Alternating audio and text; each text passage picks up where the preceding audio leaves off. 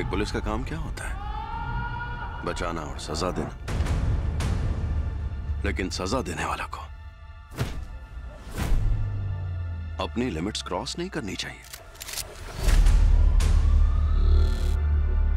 हम कहा है?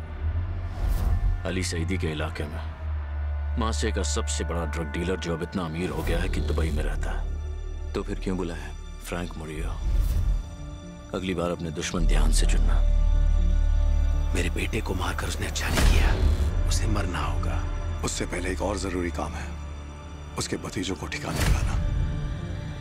उसके बाद तुम उसे मार लेना। मुरियो को पकड़ने के लिए अड़तालीस घंटे।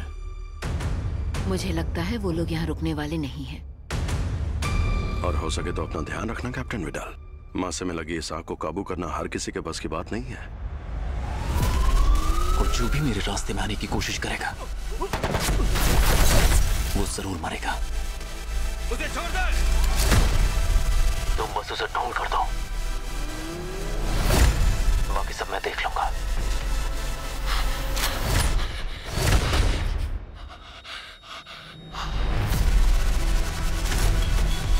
हमने देखा है वो लोग बिल्कुल पागल हैं। मैं नहीं मानूँगी।